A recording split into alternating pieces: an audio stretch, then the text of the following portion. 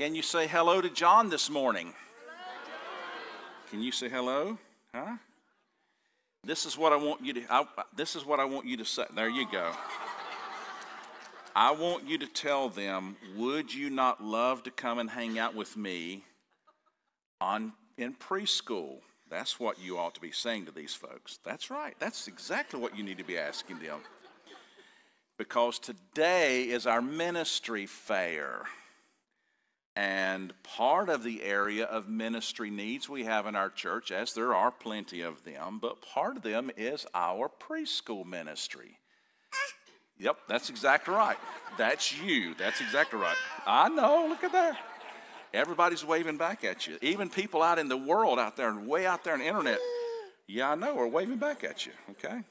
So I want you to, there you go, clap for them. We're going to clap ahead of time because they're going to come and serve with you, okay? I love that. That's, that's what it is. So, John said, tells us today that we're going to come and serve. So, Ross, I'm going to give you back your son. I have been able to pave the way today to make sure that you guys stop by the ministry table to serve. We have a, we have a new hero. We'll, we'll never be able to pull everybody back, I promise you. I want you to introduce you to a young lady. Yesterday we had our men's breakfast, we uh, and our, we had our ladies' breakfast or brunch, and we had a group that was on our campus for the second time that I need you to hear about today. So, Danny, why don't you come on up here and share with us about this new group? Come on up here.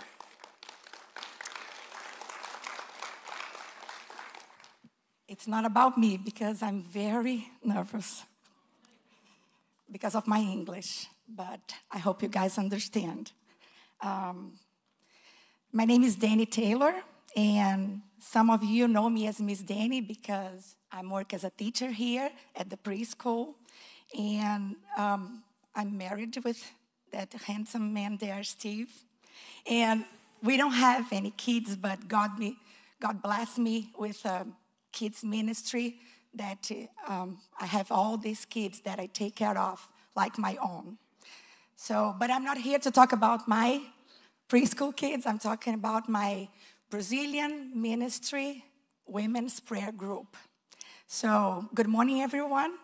Today, we gather our hearts and voices to celebrate a very special milestone uh, in the history of our Brazilian women's prayer group. Eight years ago, through Pastors Camila Hart, it's a friend of mine, we embarked on a journey of faith and emotional healing, a ministry dedicated to transforming lives through the Word of God. Our mission has been clear from the start to heal women emotionally so that they, in turn, can go out and heal other women, spreading the love and hope of our Lord. This group has become a true sanctuary where we are um, women can find support, understanding, and above all, the transformative presence of God. We want to express our deepest gratitude to you guys, Northridge Church and Pastor David, um, for welcome, welcoming us with open arms and allowing us to use your space here in Haines City. Without this generosity, uh, we would not have been able to start this ministry um, and touching so many lives. You have been more than hosts for us. You have become spiritual partners in this walk of faith. The impact of this group over the years is immeasurable. We have witnessed miracles, personal transformations, and a support network that extends beyond the church walls. As we look to the future, we are filled with hope and excitement. May we continue to be instruments of God's grace, bringing healing and renew to many more women. May this ministry grow and bear fruit, always guided by the love of God. To everyone involved, especially you, Northridge friends, and Pastor David, our sincerely thanks. May God continue to abundantly bless each of you, just as He has blessed our prayer group. And this um, is a Brazilian shirt for you, ah. from our group to you um, because, like I told you, um, through my faithful eyes, um, I can see maybe in the future We have a Brazilian ministry here in this church. We have an American, we have a Spanish, and maybe in the future we have a Brazilian one. So I ask you guys to pray with me for a Brazilian church here. Ah, Thank you so bless much. you, my sister. Amen. Amen. Let me just tell you. It's okay. I think it's I'm not cheating on my Americans girl. I love you, inspire women's. I'm half and a half. God bless you. What was, amen. Give her another hand, would you? What was so beautiful yesterday is that as we were leaving with our men's ministry, sort of cleaning up, and we had all these ladies coming in, we were having to direct, are you here for the, um, uh, the American service or the Brazilian service? So it was what a neat opportunity. And I believe we are a melting pot in Florida, right? We see that all around us. And I believe it's our responsibility to steward that which God has given to us in a way that would benefit the community the best. You're seeing, matter of fact, I shared with our men yesterday morning, you're seeing an explosion in our Spanish ministry. They're running now between 170 and 180 people almost every week. That room fits about 200. At some point in time, we're going to have to help them to take the next step. And I don't know what that's going to look like. And so I asked our men yesterday, and I would ask you today too, to pray with us because I really believe it's our responsibility to help them and to develop them, and because they are part of our, our church family, and we look forward to the way they're doing that. But I also pray that God's going to raise up a Brazilian minister. We've got a lot of Brazilians in this, this area as well, right? Amen? Okay, good deal. Well, I look forward to seeing that happening, and uh, I believe it's good stewardship. So I'm going to wear, I'm going to put my shirt here on the front today so that you all can be reminded and you can pray for the Bellas. That group is called the Bellas and that you can help us to do that as well. Today is ministry fair, and I on the on the each table there's a place for uh, place for serving. You're saying yes to you know there's there's a place for the media team. You know there's a group of guys and gals that are in the back back there that usually sit in the dark and you barely can see them. But there's no way we could make it through a service without that group. There's a media team group back there that would lo- they'd love to talk with you after the service today. I'm going to go ahead and move this around for Josh uh, so that at the end of service today, you can also come if you want or are interested in becoming a part of our worship team. There's places for you to serve in our worship team. And Josh and, and the group is going to be here at the front, uh, up on the stage, ready to receive those who may be interested in that. We have uh, tables in the back for children's ministry for Awana. Awana meets on Wednesday nights. Children's ministry is basically our Sunday morning ministry. We have groups for OCC, Ed and Barber back there at the OCC table, Operation Christmas Child. While it is a ministry that happens primarily in October, November, it really is a ministry that we focus upon throughout the year our, our ladies' ministry, our Inspire table, and that like, Debbie and, and Laura, and maybe others will be back in the back today to receive you from that as well, to, to talk about what's going on in women's ministry, how that you can be involved. Our outreach team, how many of you all today, and I, I, I'm almost, how many of you all live in this neighborhood next door to us? Okay, we've got a few. And we're, we're a little bit off today, but in that group, how many of you all received a blanket from our church? Okay, okay. Some of you. We, had, we made a commitment when, it, when this community first came in that we were going to take a blanket and a, a sort of a welcome bag to the community to let them know that we're glad to be there, uh, them to be a part of our community. I today have a record of those who have been a part or at least visited our church or had some kind of involvement in our church we have a page that's two pages long of families that have actually been here out of this community next door. We are making a difference. That outreach team literally is going and just helping to literally walk up the door, say, I've got a gift for you. Welcome to the community. Uh, non threatening way to be able to share. So, if you have an interest, maybe your gift is evangelism, you'd like to share. Our prayer team, we meet together on Wednesday nights, but there's a lot of other parts of that prayer team. Our youth leadership team is out there as well uh, events.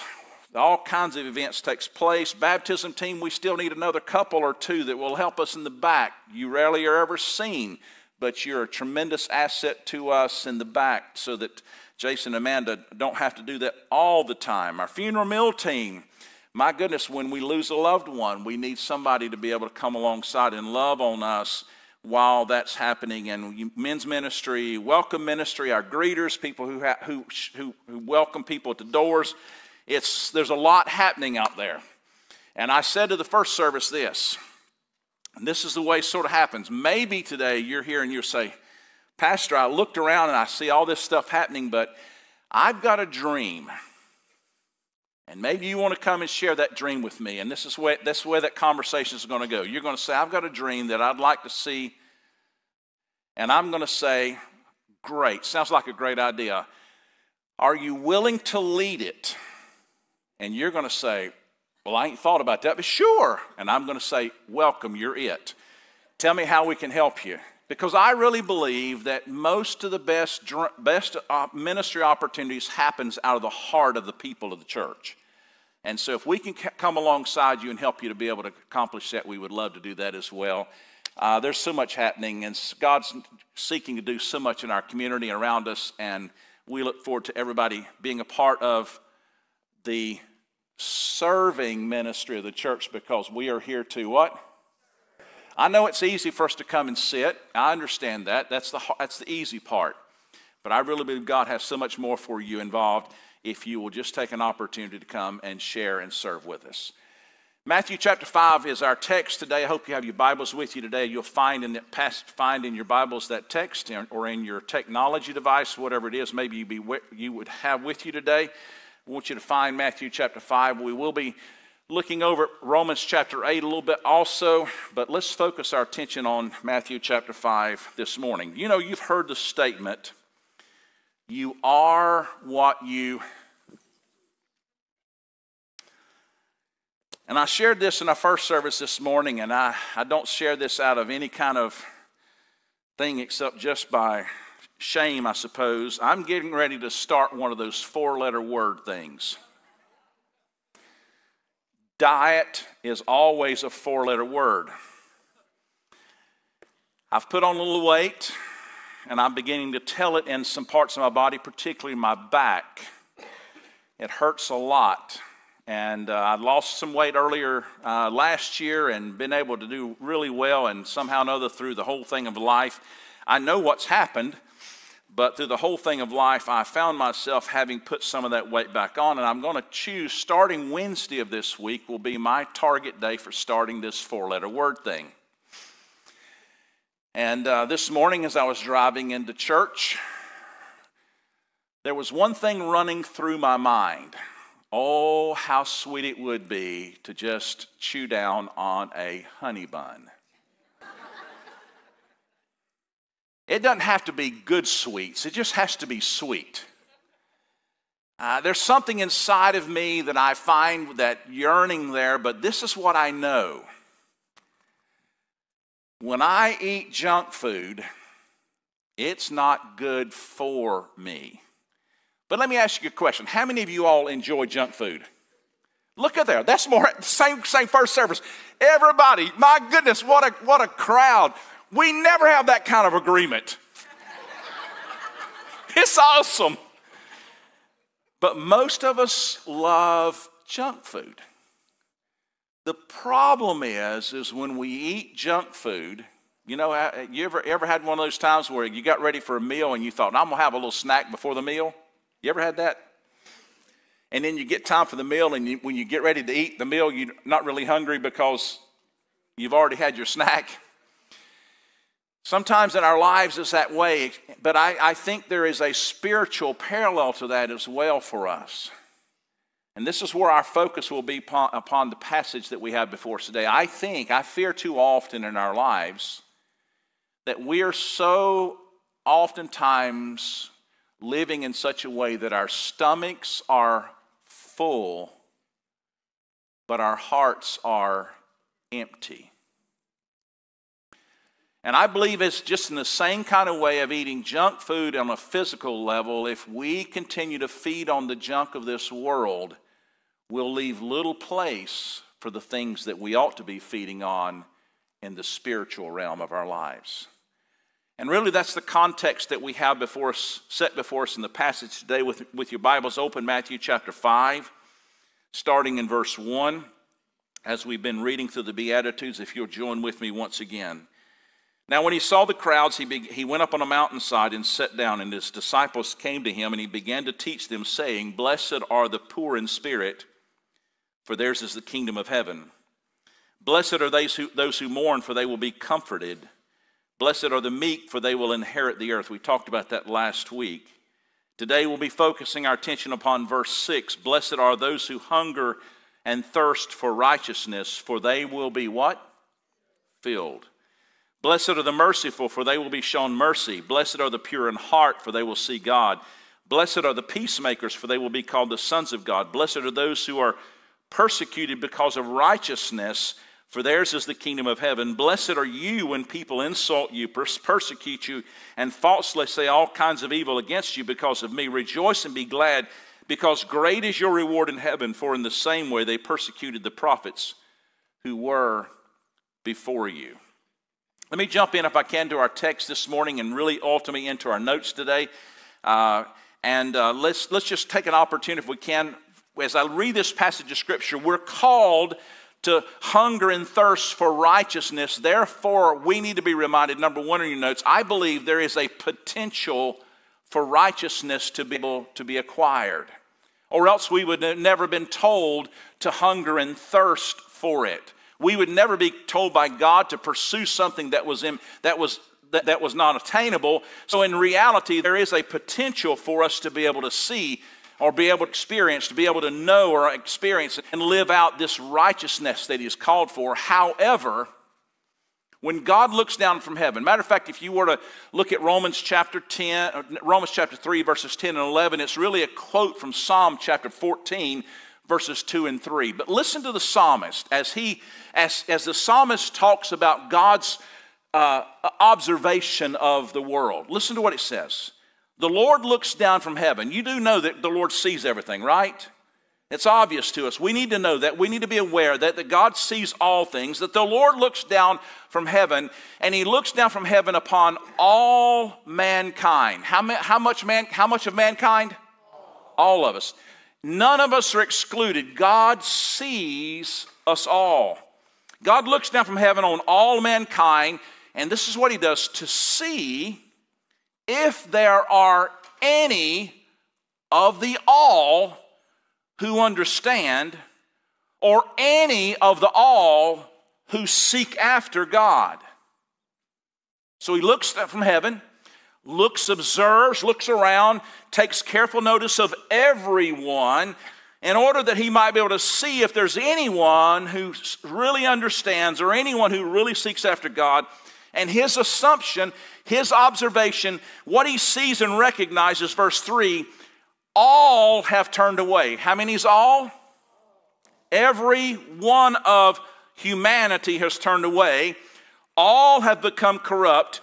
There is no one who does good, not even one.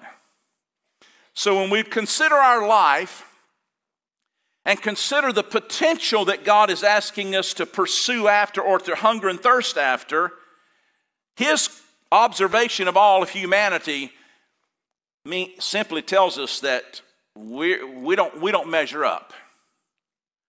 But let me mention two or three things as I think about this passage that I think be helpful for us to grasp. Number one, or letter A in your notes, is this man's best is not good enough. As we look at life and as we pursue life and as we try to, to better ourselves, you know, I believe sometimes in our world, I, I really think that happens even among Christian folks, that we, we believe that somehow or another that if we can simply work hard enough to make up the difference of our occasional failure, somehow or another we'll measure up. We'll, we'll, we'll make it. How many times have we been by maybe by the bedside of someone who's grieving and someone who's struggling maybe with the loss or getting ready to be lost of someone. And I, have been there so many times, and and, and they're, they're gathered around Aunt Sally, and Aunt Sally, you know, has been a good lady all of her life, and, And I, have heard this conversation even from church people sometimes. You know, if there's anybody ever going to be in heaven, it's going to be Aunt Sally because she was the best of the best. The equation somehow or another our mind is, is that somehow or another that we can measure up. But the scripture is very clear that we don't have the capacity to measure up. I, Isaiah 64, verse 6, reminds us of this in, in, in, in a clear detail. And this is what Isaiah says All of us, how many is all? All of us have become like one who is unclean. And all of our righteous acts, in other words, how much of our righteous acts? Every one of us, with every one of our righteous acts, are like, here's Isaiah word, Isaiah's words, filthy rags. As graphic as it is, he says, Our best effort in life are like the menstrual rags just to be thrown away. And we've all been shriveled up like a leaf, and like the wind, our sin sweeps us away. So, man's best effort is simply not good enough. Let me say, secondly, the reason that is, is because man's state at best is a state of depravity. There's something inherent within us because of who we are that, that brings us to a place that we are incapable of being able to measure up. And that's this issue of depravity. That's a big word, sometimes a biblical word that we don't quite understand. But what we need to grasp is this that absolutely everything about you and I has been affected by sin. Why? I mean, Aunt Sally was a good person. She was a great person most of her life. I don't ever remember seeing anything that she ever did wrong. But the context of the scripture remind, reminds us the, from the front to the very end that we are born into sin. We born, we're born with a sin nature, and hence every part of our being has been corrupted because of it. We are completely depraved, incapable of bringing ourselves or raising ourselves or somehow or another measuring up enough to be able to bring about this place of righteousness that God demands from us. Ephesians chapter 2 gives us a little bit of insight as to why that is, or what's taking place, or what's happened to us, starting in verse 1.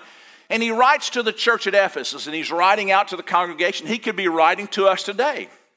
And it could be, very same thing could be said of us. As for you, meaning every one of us. As for every one of us, we were dead in our trespasses and sins, in which you used to live uh, uh, when you followed the ways of this world and lived underneath the ruler of the kingdom of the air, the spirit who is now at work in those who are disobedient. All of us lived that way at one time.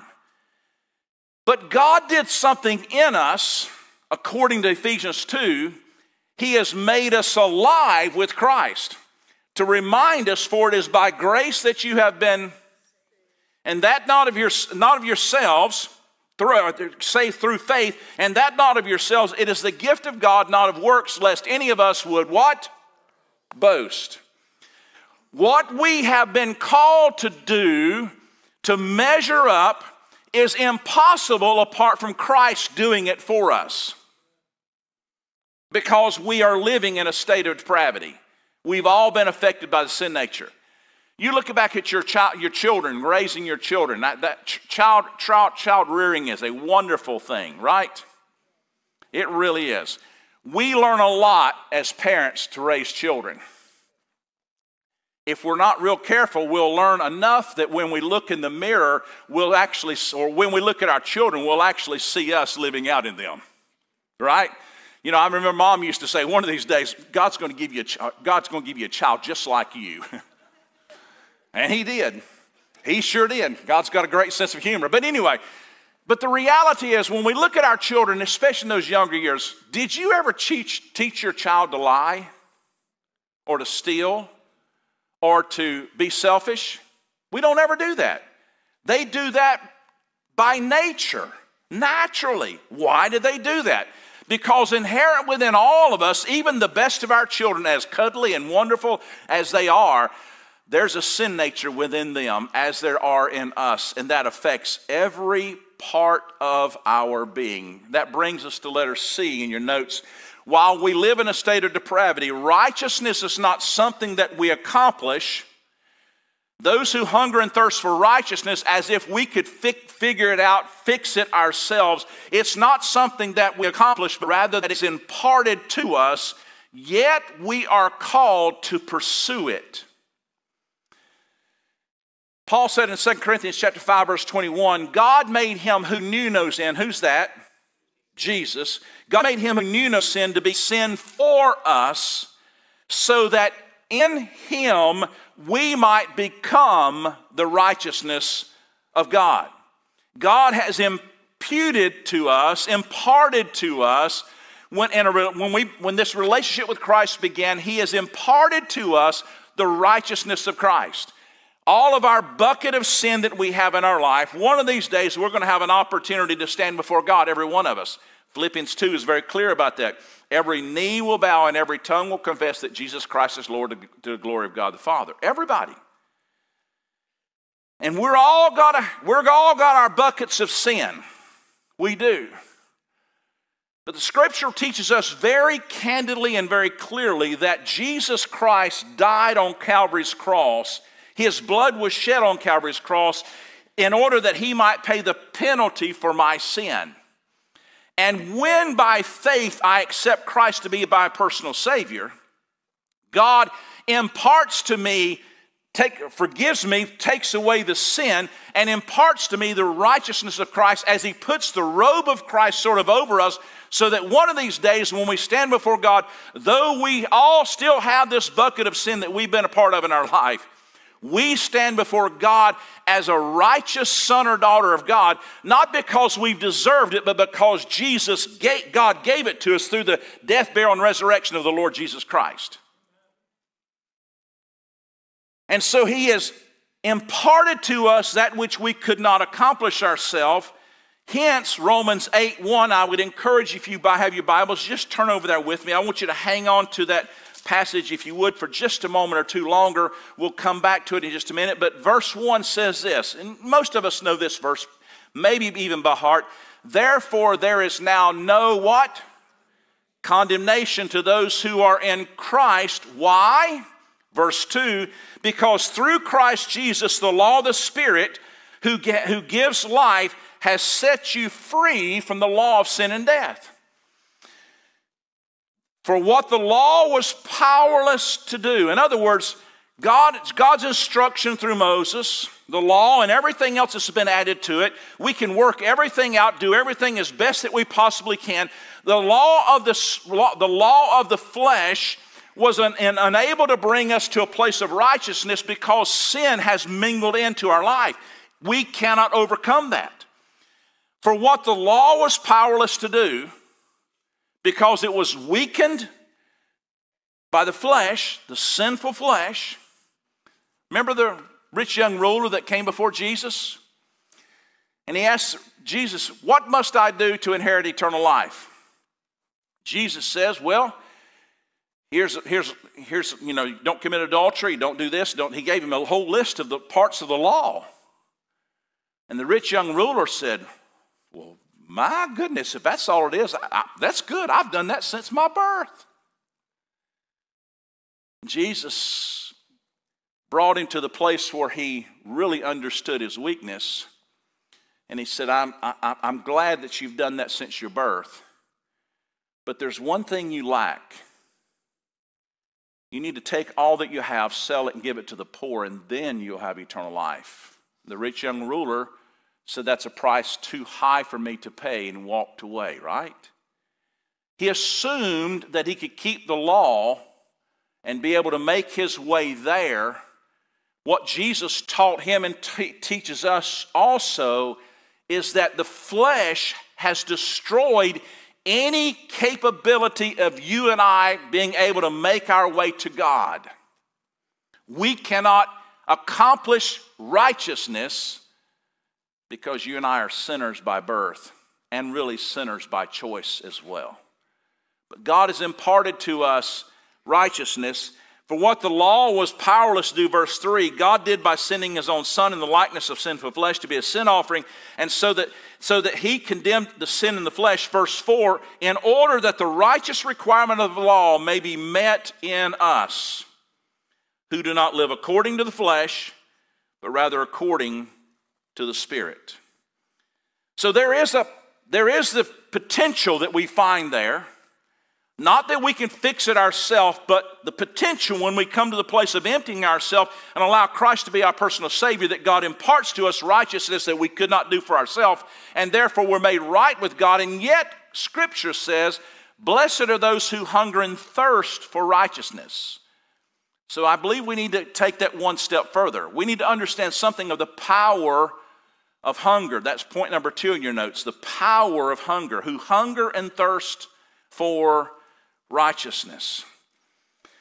You know, when we look at this passage of Scripture, I don't really, really understand hunger. In our country, we, we really don't. We, we don't understand what it really means to be hungry. For us, hunger probably looks a lot like this we have to wait 10 extra minutes for the biscuit to get done. Or maybe we might sense it as the sensation that we get in our stomach a little bit that we stop, that that pushes us to drive by McDonald's and pick up a hamburger and a Coke before we get home. But we've never understood starvation. Our problem is probably that we're not eating too little, but we're really eating too much. And yet, the writer of Proverbs 20, 16, Proverbs 16 26 says, The laborer's appetite works to benefit him for it is his hunger that drives him on. There's something inside of us that drives, that is natural and good and fitting, that drives us to get up in the morning and work hard. And that, that, that appetite is a good thing. And yet he tells us in his word, Jesus says that, that appetite, that hunger needs to be for righteousness. Uh, let's look at this if we can. Going back to Matthew chapter 5, if you would please, real quickly. Matthew chapter 5. He tells us in verse 6 Blessed are those who hunger and thirst for righteousness. If we were to jump down to verse 10, we see the fourth beatitude and the eighth beatitude sort of wrapped up together. You put these two together. Blessed are those who are persecuted because of righteousness. We might understand it to say this we're to hunger and thirst for a kind of life that will cause people to persecute us because of our faith. But if we carry on just in this same passage in the Sermon on the Mount, chapter 5, verse 20, he would tell us this that, that the righteousness that we're to pursue has to be uniquely different than that of Pharisees. Verse 20 says, For I tell you that unless your righteousness surpasses that of the Pharisees and teachers, you will certainly never enter the kingdom of heaven. Their, life, they were professional at making their lives do and, and act upon that which was right and fitting. But it wasn't enough. Chapter 6, verse 1, if you go one just a little bit further, he tells us in this whole passage, he says, Be careful that you do not use your righteous acts of righteousness to be done before men, so that people can celebrate and clap for you for the good things you've done. If you do, you'll have no reward from your Father in heaven. The Pharisees love to pray in public. There are long, lengthy prayers. They love to give and their, their, their, their coins into their metal containers so they clanged and make, made a lot of noise as they fell in. They love to be able to be celebrated for what they were doing. And yet he tells us if you were to go just one little bit further in chapter 6, verse 33, and you probably know this verse as well, maybe by heart, he would tell us that we're to seek after his kingdom and his righteousness. And the rest of the world, the rest of the stuff that we're longing for in life will simply be added to us because we've set our priorities in a proper order. There's the power of hunger. The problem number three in your notes is we've got a problem with our appetites. I've got a problem with my appetite. We've got a problem. I don't think that the real problem for most of us is that we're suffering from some kind of spiritual malnutrition.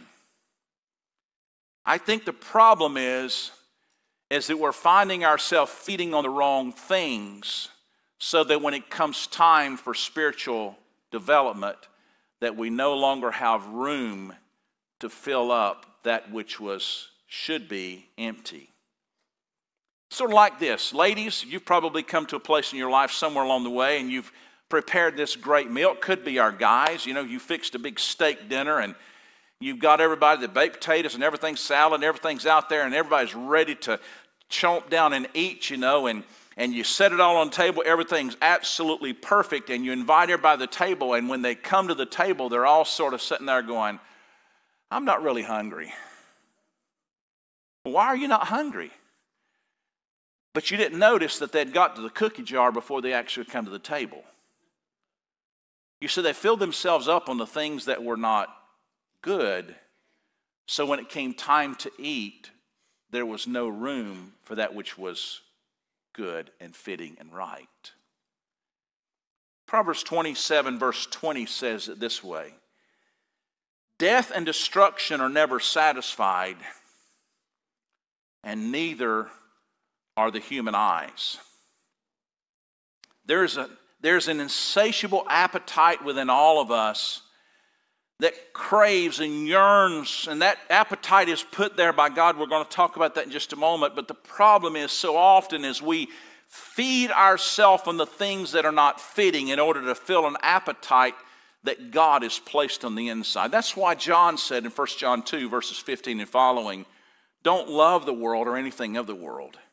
If anyone loves the, loves the world, the love of the Father is not in them. For everything of the, the world, the lust of the flesh, the lust of the eyes and the pride of life comes not from the Father, but from the world.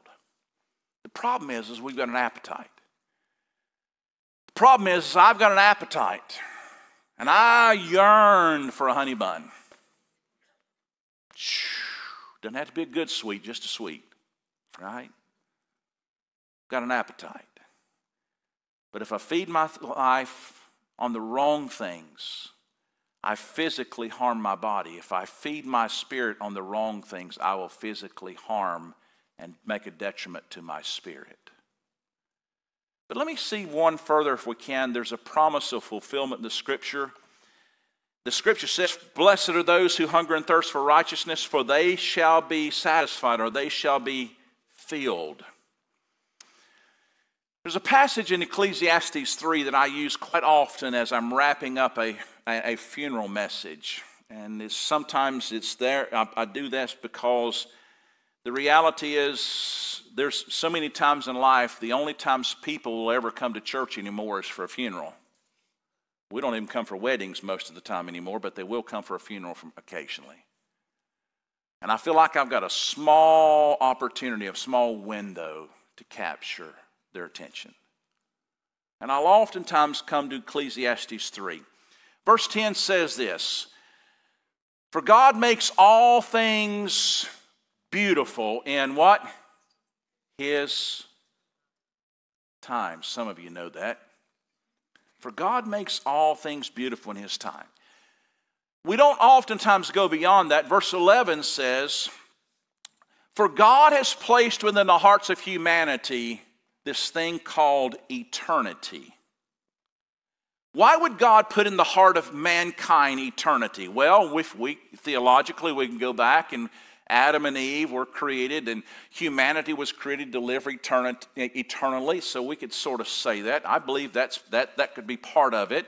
When one of these days when we physically die, we die because sin has entered into our life. When we physically die, we're going to uh, literally get to a place where we don't end our existence, we simply take the next step into our existence because God has created to us created us as eternal beings. And because of the choices we've made with Jesus we'll either we'll either transition to a place where we'll spend the rest of eternity with God in heaven or we'll transition to a place where we'll spend the rest of eternity in a place called Hello? Okay. Want to make sure we're still there But I don't think that's what he's talking about there in Ecclesiastes 3:10. I think what he's talking about there is that Ecclesiastes 3:10 God has placed inside of the human heart something that the temporal things of this world can never satisfy. So we run through life and we try to find this stuff. We work harder in order to get more, more things. We, we do more vacations. We do whatever it is in life. We play more golf, you know, whatever it possibly may be. I don't know all the things that we may do in life to try to satisfy the inner yearning and longings of our life. But at the end of the day, nothing can ever satisfy what God has placed in there because the only thing that will ever satisfy that longing is a relationship with Jesus Christ. God placed it in there to drive us to always be looking for something more. And at funeral times, I often take that opportunity to say the something more may simply be for you a relationship with Jesus Christ. How about you today? Have you ever met him to be your personal Savior? Maybe today the fulfillment you're looking for in life is not something that you'll ever accomplish on this side of eternity. Maybe the fulfillment you're looking for and what you need in your life is simply a relationship with Jesus, and today that's possible for you today. So that brings us point, I think, to the next point in our notes, and that's the possibility. The possibility. For every one of us to hunger and thirst after the things of righteousness, to live in the possibility of the potential the potential that God has placed for us that we cannot accomplish ourselves, and yet God has given it to us as a possibility for us to live. Yes, we have been imparted righteousness in our life because of a relationship with Him, but He's called to us to pursue that, and so in so doing, we hunger and thirst for it. And I would just simply go, we could take the Sermon on the Mount, and we're going to be doing that in the months to come. But if we can take the Sermon on the Mount and go a little bit further back in Matthew chapter 5 and or Matthew chapter 6 particularly, and if you would pick up with me in verse 19, Matthew 6 19. Don't store up for yourself treasures on earth where moth and rust destroy, where thieves break in and steal. The tendency of humanity is we we want to store ourselves up. We got all kinds of stuff. You know, isn't it amazing? And you know, and our around it, it is amazing how many storage units are being built. We have storage units to store our stuff that we don't have, time, don't have places in our homes to keep our stuff. They're getting ready to build a, a big storage unit right across the street here. And if I, if I understand correctly, it's going to be one of those high rise ones so that you can store a bunch more stuff in there. Isn't that great? Don't store for yourselves treasures on earth where moth does break in and, and destroy, but rather store for yourselves what? Treasures in heaven where moths and vermin cannot destroy and where thieves cannot break in and steal. For where your treasure is, there your. Boy, that's a hard word to stomach, is it not? Well, how could I determine where my heart is other than with my stuff? Verse 22, very next verse. Context. The eye. Seems like it's a different concept, but it's not.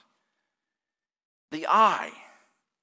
It's the thing that we observe, the world around us. It's the, he calls it here in verse 22, the lamp of the body.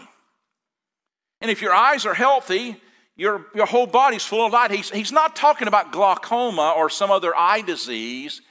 He's talking about that which we're looking for. But if your eyes are unhealthy, your whole body will be full of darkness. In the same kind of way, as we eat junk food in our life, if we pursue with sight that which is not edifying to the spirit, our whole body is going to be affected by it.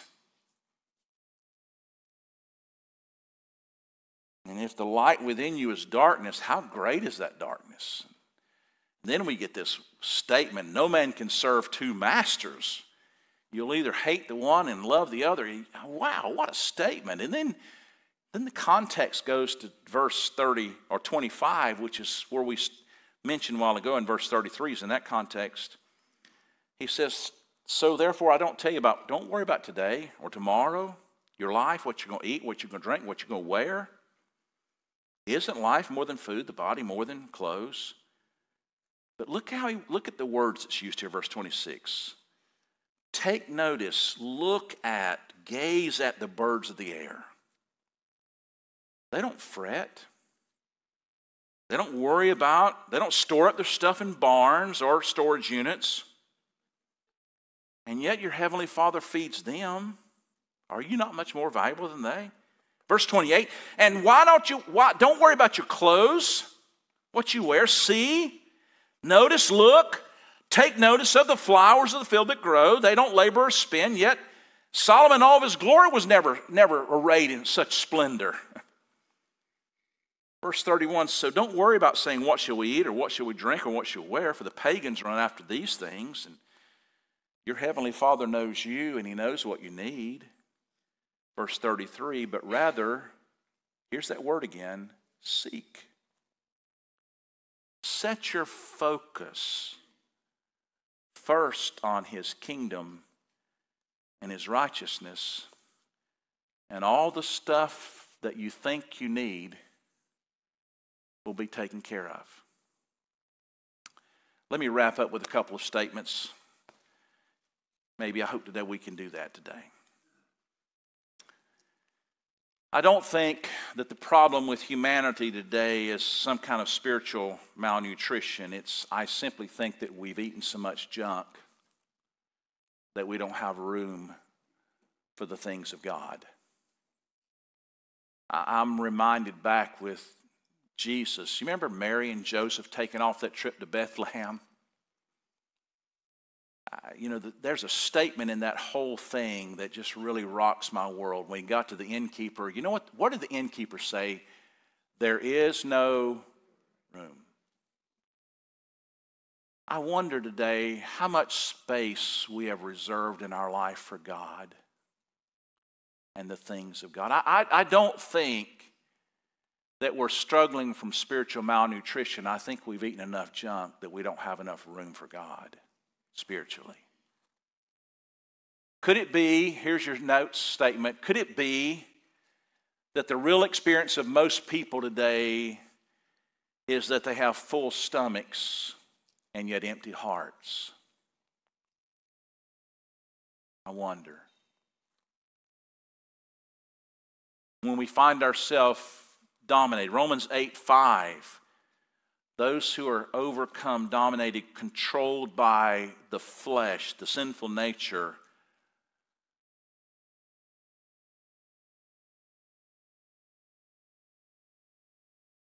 are not thinking about spiritual things. But rather, those who are controlled by the Spirit think about the things that please the Spirit. Let me, let me give you a, an Indian proverb today. It's equated, I think, to the Cherokee, and I, am not real sure. Sometimes you hear, th- hear things, and so I'm going to credit it to that which I received it as, so I'm going to credit it to the Cherokee Indian. One evening, there was an old Cherokee leader that was talking to his grandson about the stuff that goes on inside of humanity.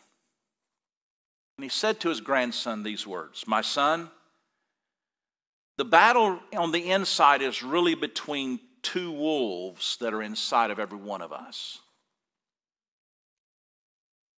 One of those wolves is evil, anger, envy, jealousy, sorrow, regret, greed, arrogance, self pity, guilt, resentment, inferiority, lies, false pride, superior, uh, superiority, and ego. That's one of the wolves, he said. The other wolf within inside of us is good. It's that of joy and peace and love and hope and serenity and humility and kindness and benevolence, empathy and generosity and truth and compassion and faith. And the story says that there was a pause in the conversation. And the young man began to think and ponder And this is the question after a moment or two of ponder that he asked his grandfather. And this is the question Granddad, which wolf wins? And the old Cherokee simply stated, It's the wolf that you feed. And I really think in our culture today, we feed the wrong things. We feed our spirit the wrong things. It's not that we're suffering from malnutrition.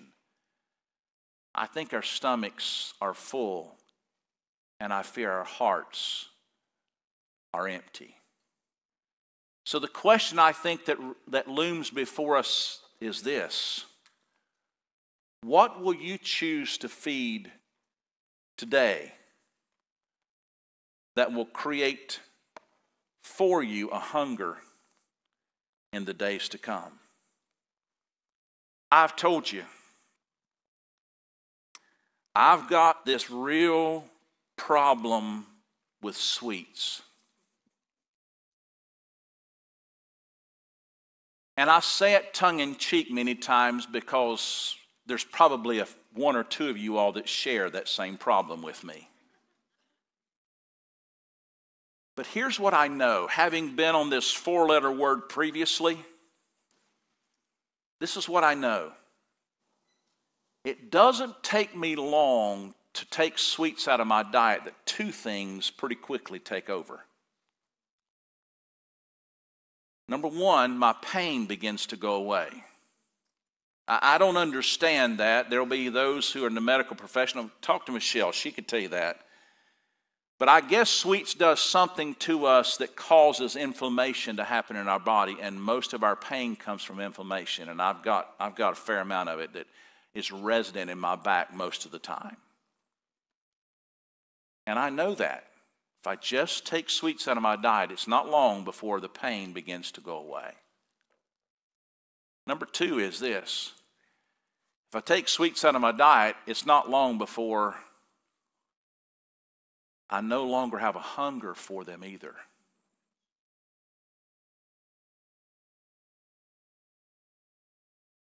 But I'm like an alcoholic in the fact that it only takes one honey bun to set it in motion. So I want you to hear me say from your pastor today. Back up that last slide, if you would, please. I've got to make a choice as to what I'm going to feed. And whether we feed our bodies nutritionally good things or not. Eternity doesn't hang in the balance with that. But eternity hangs in the balance for what we choose to feed our bodies spiritually. Let's think about it, can we? Let's pray. Let's stand together, please, as we pray. Lord Jesus, we pause today again to say thank you again for the privilege that we have as your children to be able to open up your word and allow your word to peel back the parts of our being that we hmm, we may rather not look at and yet you desire us to see so I pray, oh God, today in the midst of this journey, in the midst of this life, as we continue to pursue this whole concept of what it means to be a follower of Christ and the character that you're seeking to develop within us the emptiness of spirit. A grief over our own sin state and the state of the sin around the world. An opportunity to be able to come to a place of meekness to have our lives moldable and yet strong. And yet today, you've also called us at this central, central point, I think, to look within because it really, in many ways, is dependent upon what we choose to feed ourselves on. Draw us to yourself, we pray. Give us courage to understand our shortcomings and to see them as you see them. Give us boldness to be able to address those matters and to make some choices today and in the days to come that will make eternity different for us, that will set us on course for spiritual success, for hearts being filled with the Spirit of God and finding real satisfaction where satisfaction was intended to be. So bless us today as we seek to think through, work through, listen to you as you seek to draw us to yourself, we pray. In Jesus' name.